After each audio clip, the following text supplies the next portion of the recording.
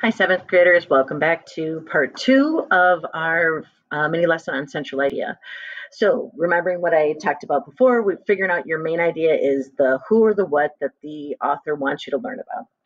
Today, you're going to be asked to read some passages on the different hierarchies of classifications of uh, people during the Middle Ages, and I'm going to walk you through an example. You're going to to model for you what I'm going to ask you to do today.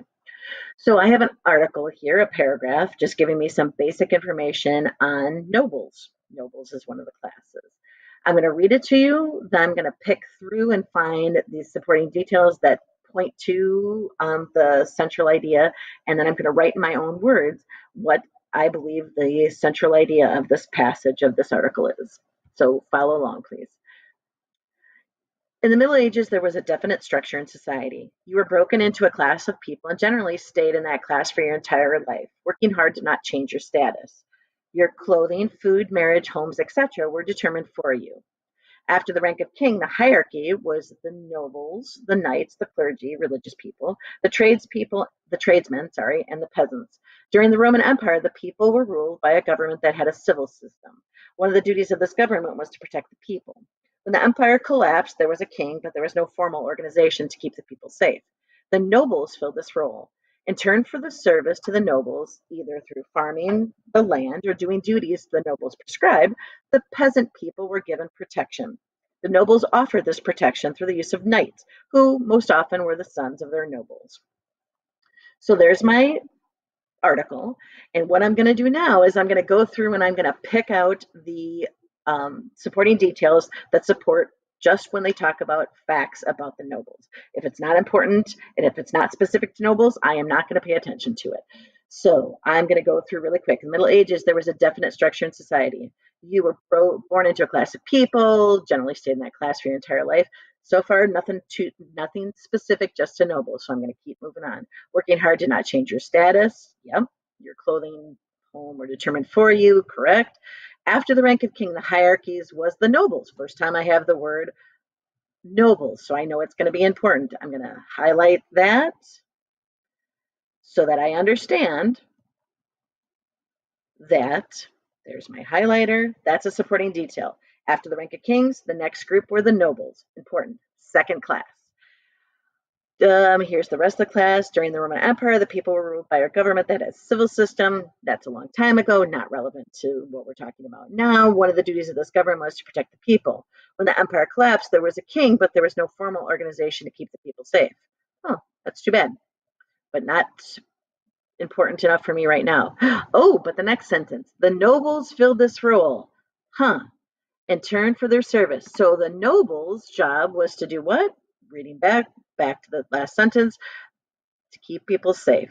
The noble filled this role to keep people safe. So I'm just going to highlight that all. Because again, supporting detail, that's important that I add that in my central idea because that's what we're talking about. In turn for the service to the nobles, either through farming in the land or doing duties the nobles prescribed, the peasant people were given protection. So it's saying the nobles fill this role of keeping people safe. Which group of people did they specifically keep safe?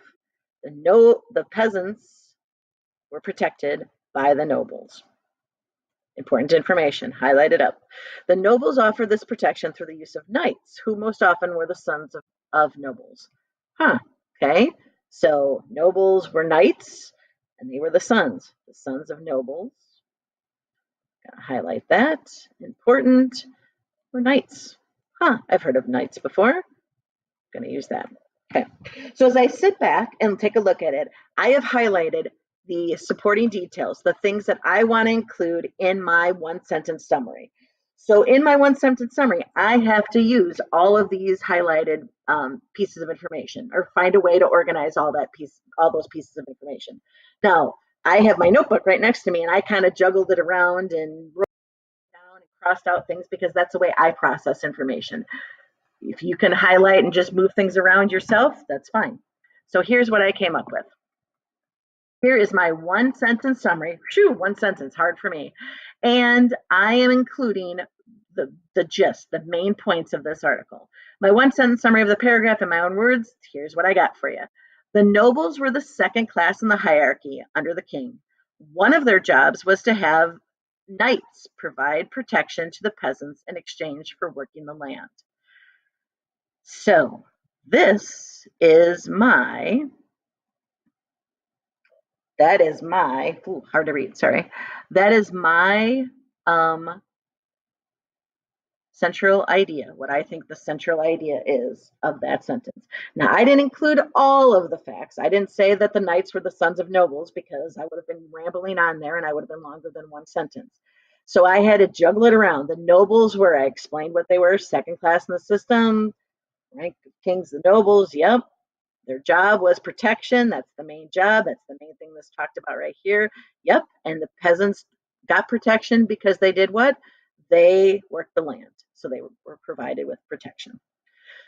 So to wrap it up, what you're going to do today is you have five different classifications, the five classifications in the hierarchy um, during the medieval times, and you are going to read all five articles to get the get, gathering the information. You're going to pick two out of the five, and you are going to write two one sentence summaries doing exactly what I did just now.